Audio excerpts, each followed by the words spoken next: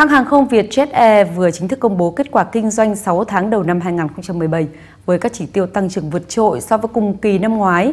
6 tháng đầu năm nay thì tổng doanh thu của Vietjet đã đạt gần 16.400 tỷ đồng với lợi nhuận đạt 1.900 tỷ đồng. Lũy kế 6 tháng đầu năm 2017, Vietjet đạt 1.900 tỷ đồng lợi nhuận trước thuế, tăng trưởng 44,7% so với cùng kỳ. Tăng trưởng từ vận tải hành khách quốc tế là động lực tăng trưởng của quý này khi tăng gần 130%.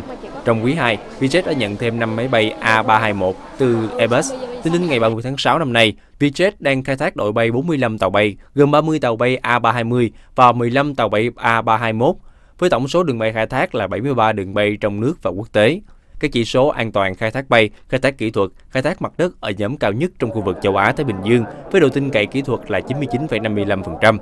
Mới đây Vietjet cũng đã động thổ dự án trung tâm công nghệ hàng không, Học viện Hàng không Vietjet tại khu công nghệ cao quận 9 thành phố Hồ Chí Minh. Dự kiến sau 12 tháng sẽ đưa vào vận hành hạng mục đầu tiên là trung tâm thiết bị buồng lái gia đình đào tạo phi công.